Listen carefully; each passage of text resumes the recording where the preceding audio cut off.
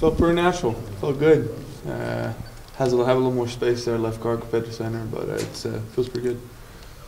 Rakeem had a pretty good game, and looks like he's going to play a lot with them Wild. Just what, what do you think of his game, and what do you, what do you think he can do for you guys against the Aggies? Uh, he's a very patient back. Uh, he's very explosive in the hole. You know, many guys they get a little too anxious whenever they get the ball and they want to they want to advance it. Uh, it's it sucks having Devwah Whaley because he's been extremely consistent uh, in the pass pro and in the run game the past couple of weeks. But we we have so many guys in the backfield that it's it uh, the level's not going to drop. You know, Boyd didn't get here till almost August. How have you seen him progress in camp and then the first few weeks of the season? How he's progressed? Yeah, because he obviously had. had just good, you know. long- I think he came in a little bit out of shape, uh, but he's he's he's up to top speed now. You know, he hit really high speeds on the catapult numbers here this last previous game. You know, he, he hit some really good holes and he has a really good vision. And it's like it, it, I'm excited about him. What about the A&M series, Hjalte? What do you think about, I mean, there's been so many tight games, and y'all wanting to get that breakthrough. Just excited, excited to get back out there. You know, down down to Jerry's world. You know, it's every every year. However people look at the teams and however much talent people think we have, it's always going to be an extremely good game. People we fly around, everyone flies around, and everyone brings their A game to this game, and it, it's going to be a really good game. Has it just been frustrating because you guys have, uh, I don't know if you've played in all these games, but there's been three overtime losses.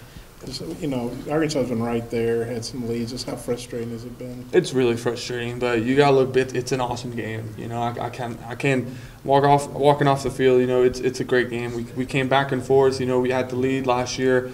Uh, I think it was Christian Kirk came back with a with a, a kickoff return for a touchdown, and you know everything kind of changed, and we marched right back and scored. It's you know every both teams are going on all cylinders, man, and everyone's playing really good football, and it's just it's it's awesome to see.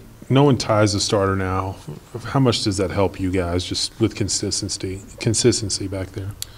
You, you know, I think all the quarterbacks are pretty consistent. It's always good to have a certain guy. Uh, the same thing with the offensive line. You know, we're kind of we're kind of getting in the groove right now with five guys that we kind of want to set out there uh, as the number ones. Um, so it's it's good to have some consistency uh, back there. But in the end, whoever's in there, you know, they're all all the quarterbacks are doing a tremendous job at being a play caller. From a player's perspective, how much progress did you guys make last week offensively? Uh, I think we moved the ball pretty well. You know, Auburn, Auburn's defense ain't no slouches. It's it's some big dudes. You know, it's uh, it's the bread and butter of the SEC. You got some really big linemen with some really good linebackers and a good and a good secondary, and I think our guys executed pretty well. Uh, I think we gained a lot of yards, of course, but we couldn't really execute as well as we wanted to in the red zone and, and on third downs. Our third down uh, uh, efficiency was horrible. Uh, just that's just the stats of it.